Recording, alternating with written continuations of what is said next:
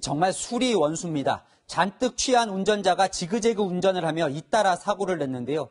절대 그러지 말아야 할 어린이 보호구역 스쿨존이었습니다. 배영진 기자입니다. 흰색 SUV 차량이 느린 속도로 가다서다를 반복합니다. 앞부분은 심하게 부서져 있습니다. 잠시 후 아파트 단지 입구에 멈춘 차량. 차에서 내린 운전자가 비틀대며 어디론가 사라집니다. 도로 한가운데 방치된 차량 탓에 주변 도로에 정체가 빚어집니다.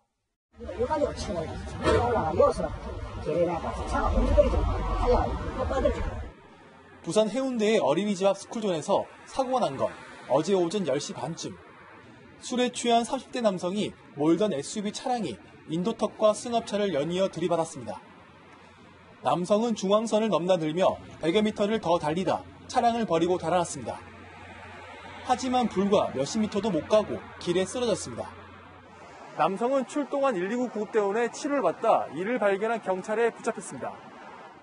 남성의 혈중 알코올 농도는 만취 수준이 0.204%였습니다. 경찰 조사 결과 남성은 전날 저녁부터 사고 직전까지 술을 마신 뒤 운전대를 잡은 것으로 드러났습니다.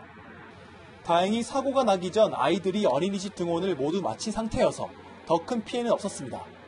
경찰은 남성을 음주운전 혐의로 불구속 입건했습니다. 스쿨존에서 일어난 사고지만 인명피해가 없어서 민식이법은 적용되지 않았습니다. 앞서 부산 해운대에선 초등학교 부근 스쿨존에서 5살 어린이가 교통사고로 숨진 바 있습니다. 또다시 스쿨존에서 사고가 나면서 아이들 안전에 빨간불이 켜졌다는 지적이 나오고 있습니다. 채널A 뉴스 배영진입니다.